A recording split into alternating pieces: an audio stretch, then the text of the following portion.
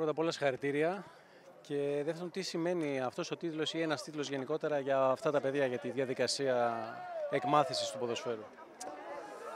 Τι σημαίνει, ε; Τίποτα, η χαρά της ημέρας. Είναι η χαρά της χρονιάς που ας πούμε τα κατάφεραν τα παιδιά, αλλά ε, ουσιαστικά δεν είναι κάτι το οποίο είναι πολύ σημαντικό ότι και καλά, διότι ότι και καλά θα πρέπει να, όπως και δίποτε να κερδίσεις σε αυτή την ηλικία. Γιατί ο χρόνος και ο δρόμος που έχουν αυτά τα παιδιά είναι πάρα πολύ μακρύς και μεγάλος. Νομίζω αυτό είναι.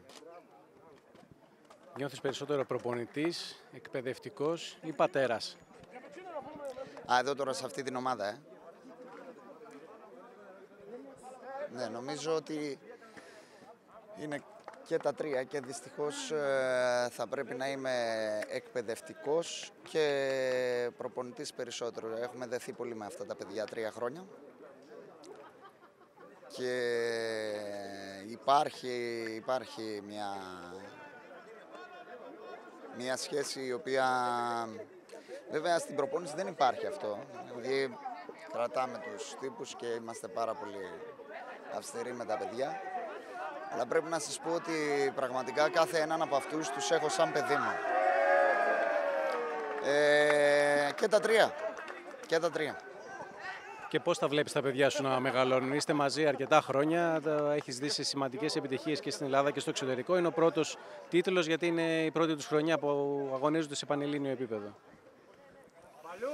Τους βλέπω ότι είναι στο σωστό δρόμο. Θεωρώ ότι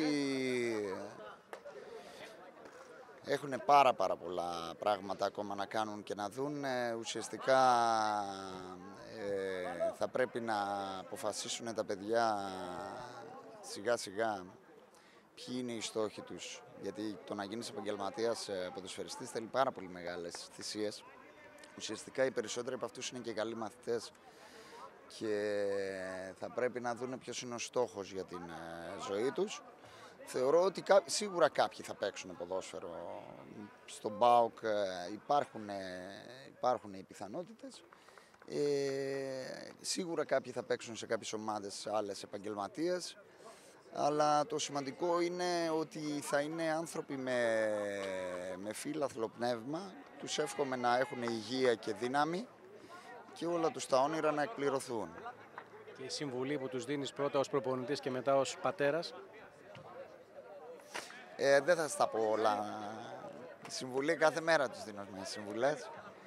Ε, νομίζω ότι έχουν καταλάβει πως ε, ε, όλα τα πράγματα στην ε, ζωή θέλουν θυσίες μεγάλες. Βέβαια να σου πω κάτι και εμείς μαθαίνουμε από αυτούς, παίρνουμε δύναμη και ε, ουσιαστικά εξελισσόμαστε. Ε, οι, τα όνειρα που κάνουν οι νέοι είναι πάντα οδηγός μας.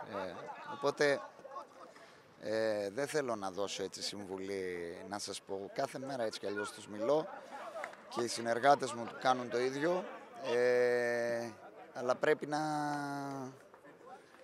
να, τους, να μαθαίνουμε κι εμείς από αυτούς.